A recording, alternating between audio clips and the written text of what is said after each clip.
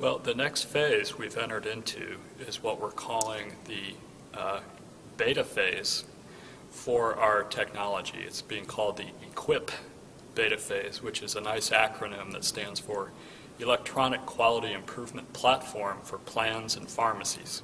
So that's a whole mouthful, but E-QuIPP is a nice acronym that's somewhat symbolic in that we're trying to equip the pharmacies to engage in adherence improvement and performance measurement overall. And so we've actually uh, um, gotten the agreement from uh, eight different health plans uh, around the country to participate in this initiative, and also um, uh, about a half dozen of the largest chain pharmacies, as well as numerous independent pharmacies, who are willing to participate in our next phase. Uh, we've targeted Pennsylvania, Florida, and Alabama for this year and are just uh, launching this new phase of our initiative to drive those improvements in adherence with the hopes of being able to scale this nationwide uh, starting next year.